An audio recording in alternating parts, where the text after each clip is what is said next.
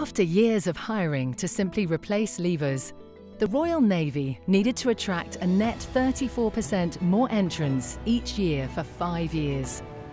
Marketing's objective was to increase expressions of interest in applying in the short term and sustain consideration in the Navy as a career option in the longer term.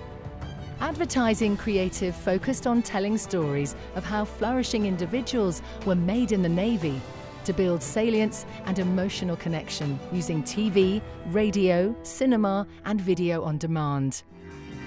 I left home. I wrote home. I found a new home. I did things I never dreamed I would and overcame things I never thought I could. The number of registered expressions of interest exceeded target by 6%, with the media cost per expression falling by 49%. The campaign is estimated to have saved the Royal Navy £25 million.